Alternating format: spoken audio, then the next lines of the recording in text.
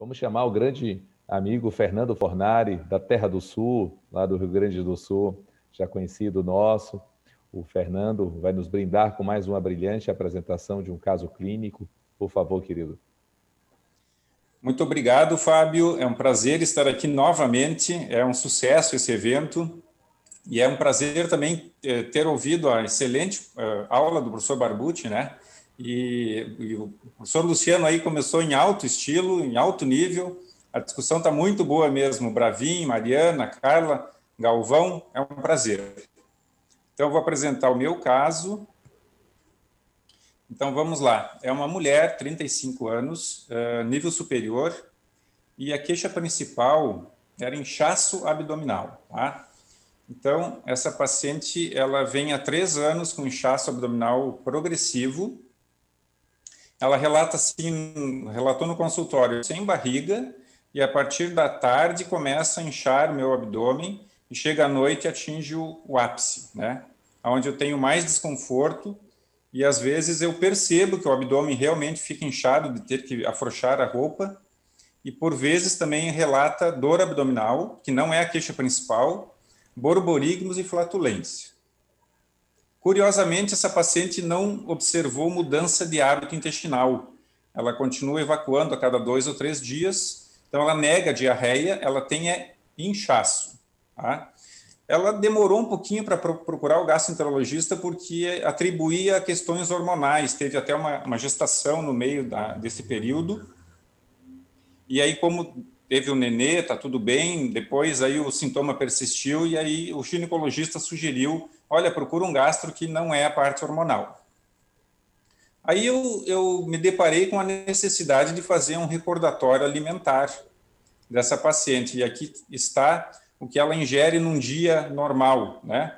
Então, pela manhã ela ingere uma fruta, depois no almoço sempre tem legumes, salada, feijão, arroz, com muita frequência, uma carne. Ela tem os vegetais que ela faz refogado com alho e cebola. E praticamente quase todos os almoços, né? E depois à tarde é uma bolacha salgada e à noite daí é um alimento tipo é, mais lanche, pizza, sanduíche, que tem sempre um farináceo, aí, um pão, alguma coisa à base de farinha de trigo. É, essa paciente, ela é uma paciente em ótimo estado geral, ela tem uma boa disposição, isso não atrapalha na sua uh, rotina de trabalho, nem na questão social. Curiosamente, ela consultou um nutricionista antes de iniciar os sintomas, há quatro anos, porque ela tinha uma dieta pobre em fibras e ela sentiu a necessidade de melhorar a qualidade da dieta.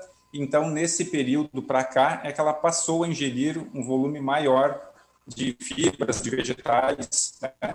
e não teve muito benefício na questão do hábito intestinal.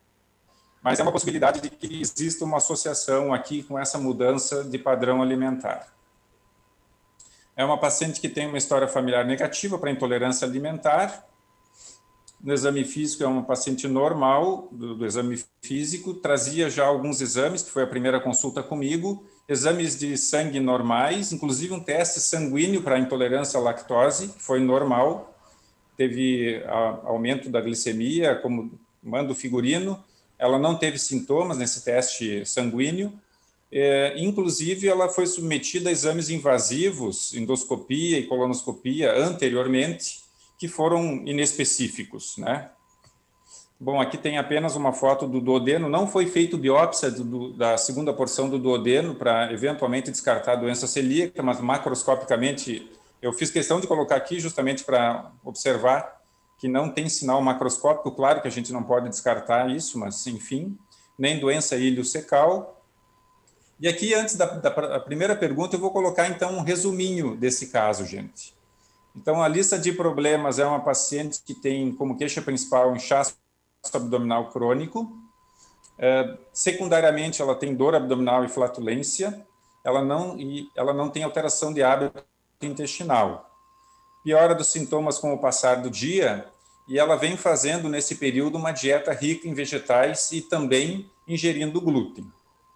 E como fatores atenuantes, né, nós temos então um paciente que é adulto jovem, 35 anos, não tem sinais de alarme, não tem perda de peso, perda de apetite, nem sangramentos, nem exame físico alterado, e os exames complementares, inclusive com colonoscopia normais. Bom, diante disso, a minha primeira pergunta é sobre o diagnóstico, né? Então, eu coloquei aqui quais seriam as hipóteses diagnósticas principais, e aí eu vou listar aqui como alternativa A a síndrome do intestino irritável, uh, ou uma outra doença funcional, que seria bloating, né, inchaço funcional. Alternativa B seria intolerância aos FODMAPs. Alternativa C seria o supercrescimento bacteriano ou, eventualmente, uma verminose, como giardíase, porém, né? E a alternativa D, doença celíaca ou sensibilidade ao glúten não celíaco. Fábio, deixo contigo agora para votação. E aí daí a gente vai conversando. Pode conversar, já soltei a votação. Já está valendo, pessoal. Na verdade, aqui, gente, existe uma sobreposição de possibilidades, né? O paciente pode ter uma doença funcional que comumente pode estar associada a uma intolerância alimentar. Sabemos nesse caso aqui que não parece ser intolerância a lactose, como ela já trazia um exame sanguíneo negativo e o relato de que ela não, não observava piora do quadro ingerindo leite e derivados. Inclusive, ela por um tempo fez o uso de lactase também sem benefício. Não sei se o Luciano gostaria de comentar alguma coisa, talvez. Já tem uma, já tem uma previsão para é... vocês aqui. A letra B, 50%. A letra A, 15% e a letra C, 20%, queridos. Então, Fernando, é, eu concordo contigo que é um caso em que ah, nenhuma dessas opções eu descartaria de uma forma inicial. Eu iria realmente investigar um pouquinho mais, pensar um pouquinho mais, conversar com o paciente, porque muitas vezes a consulta médica, quando o paciente chega no meu consultório, eu digo assim, olha, a consulta médica às vezes é que nem um casamento. Geralmente, quando a gente casa à primeira vista, nunca dá certo. A gente precisa conhecer o paciente, conversar, examinar, e às vezes até numa segunda avaliação, num segundo retorno com esse paciente, que às vezes a gente pode ter um clareamento do diagnóstico que uh, esse paciente apresenta. Mas eu concordo contigo que acho que todas as opções aqui elas podem ser uh, viáveis, mas uma coisa importante também, Fernando, é que eu também tenho recebido muitos pacientes que vêm com esse relato, que assim, dizendo que antes eles tinham uma dieta péssima, eles resolveram procurar uma orientação alimentar, e depois que eles começaram com uma dieta saudável, eles começaram a apresentar sintomas. Então, esse caso que tu estás trazendo é um caso realmente bastante é, ilustrativo, porque não é uma coisa tão incomum da gente ver no dia a dia de hoje, porque todo mundo está buscando uma dieta saudável, mas assim, o que é uma dieta saudável? Né? É, e isso é uma coisa que tem que ser realmente questionada. Perfeito. Fábio, eu, preciso, eu prefiro passar para a próxima questão e aí depois eu vou dar uma notícia sobre a evolução dessa paciente e a gente vai entender o que ela tem, tá? Por favor, vamos subindo. Vou soltar a segunda já. Qual seria, então, muito bem, qual seria, então, a sua conduta inicial, né? Frente a esse, essa paciente no consultório.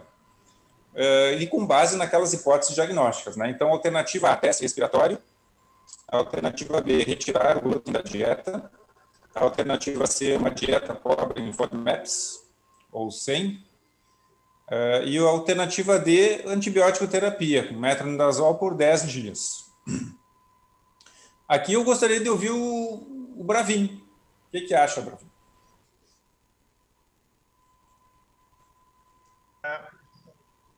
Eu sou partidário do teste respiratório sempre que possível. Paciente com doença, doença funcional, gastrointestinal, especialmente as intestinais, intestino irritável, é, síndrome da distensão é, abdominal funcional, é, você vai ter aí um, um dos três testes positivos de 30% a 70%, tá? E você, obviamente, uma paciente sem sinal de alarme, né? E que, como você vê, é, é, ela, ela tem sintomas é, desencadeados por vários tipos de alimento, né? Eu vou te falar, eu acho que a possibilidade de ter uma desbiose, no caso dela, é muito grande. E, a, e como é fácil uma, um teste respiratório para supercrescimento, seria a minha opção. Mas, não tendo à disposição antibiótico, antes mesmo de modificar a dieta. Eu acho que é um caso que a possibilidade de resposta é muito alta Entretanto, quando a gente tem um teste de supercrescimento positivo, essa possibilidade aumenta bastante. O teste de, de respiratório para supercrescimento, ele tem um valor prognóstico. A gente vai saber qual, qual que é a probabilidade desse paciente responder. Mas mesmo um teste negativo, 30% ainda responde, mesmo com um teste respiratório negativo. Especialmente porque a gente não tem é, é, difundido né, de uma forma global é, o teste respiratório com metano, tá? que está associado aí a 15% a 30%. E como é uma paciente que tem uma, uma tendência, ela tem um hábito mais constipado, apesar de não ter uma queixa primária, não é algo que incomode, a possibilidade maior dela ter uma, uma flora metanogênica. Inclusive, eu acho que o metronidazol é uma, uma excelente opção nessa, nessa circunstância. Tá? Enquanto quanto tem diarreia, a possibilidade de ter hidrogênio é maior e outros antibióticos, como a rifaximina, é a minha primeira escolha. Agora, eu acho o metronidazol uma excelente opção, no mínimo 10 dias, de 10 a 14 dias, 250 miligramas, que é o que eu comentei com o doutor Luciano ele tratou aquela paciente antes desse último, é, dessa última diretriz. Essa história de mínimo 10 dias, em geral 14 dias, é, ela é recente. Tá? Perfeito, perfeito, Bravinho. Vamos Eu ver. Teria para vocês. É, a plateia está bem dividida, está algo animado aqui. Estamos 41% com a letra A, é, 44% com a letra C, com a dieta pobre Food Maps, e deixaram o tratamento só para 5%. Realmente, Eu Fernando, aí agora. você agora destrinça para a gente. Tá, vamos lá. Bom, nós estamos aqui em Passo Fundo, nós não temos, como em BH, o teste respiratório amplamente disponível, né? E, e, essa paciente, quando eu coloquei as alternativas terapêuticas para ela, ela não gostaria de mexer na dieta, porque ela estava gostando do que ela estava, da rotina alimentar dela. Então, na verdade, essa primeira questão, é a, a minha resposta é, escolhida é, é uma mistura. Ela tem, na verdade, uma doença funcional, que eu caracterizaria como um chasso funcional, que é a queixa principal dela, não caracterizaria como síndrome do intestino irritável, porque ela não teve alteração de frequência evacuatória nem consistência de fezes, e possivelmente esse inchaço funcional secundário a uma intolerância alimentar.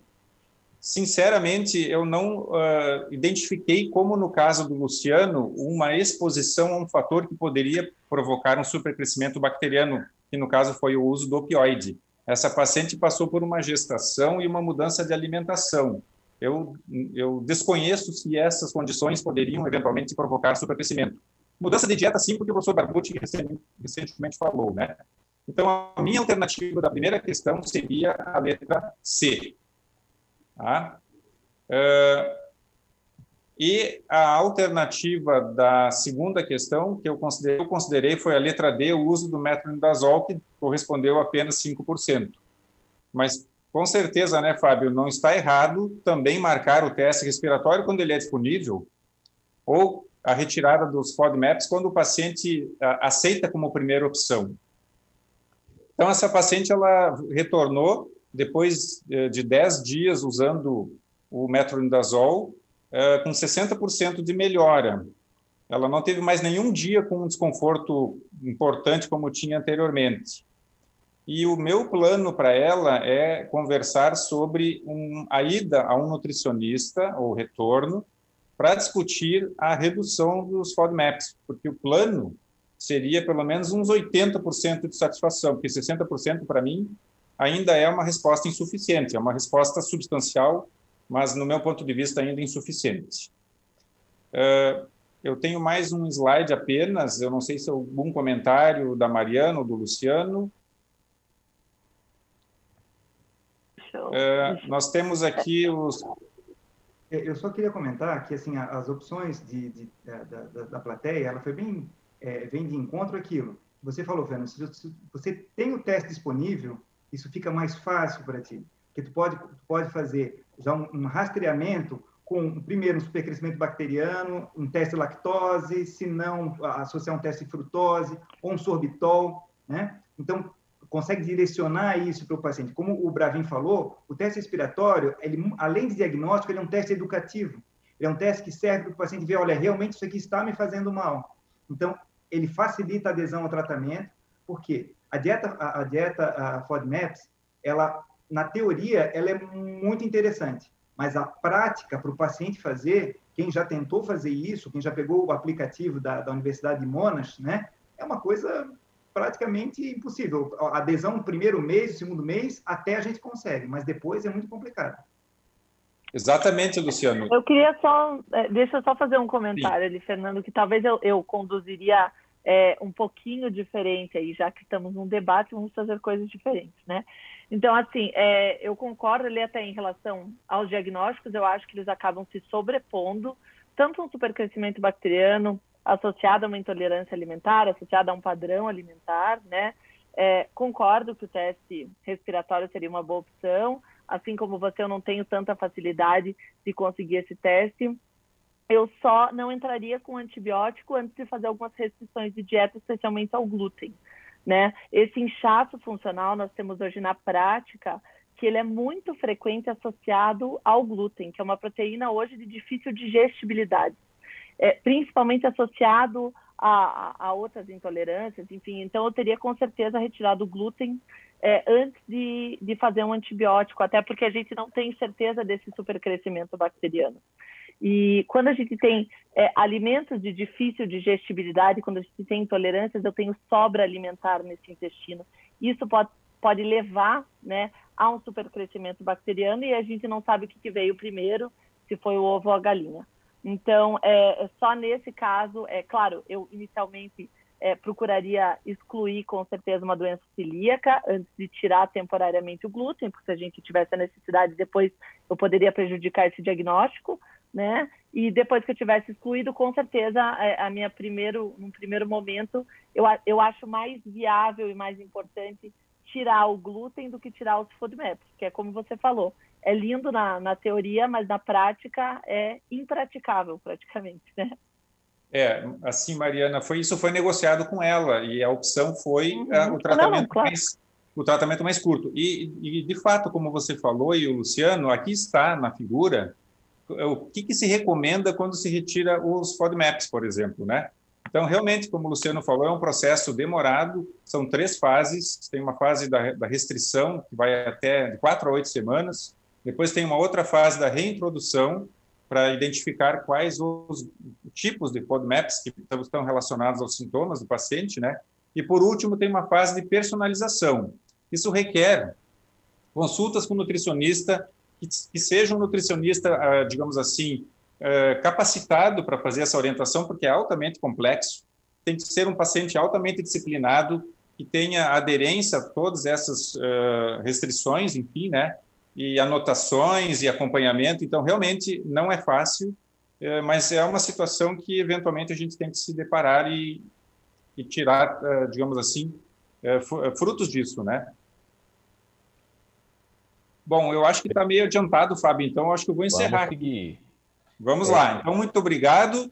E eu me coloco à disposição agora para o restante das discussões, pessoal. Muito obrigado.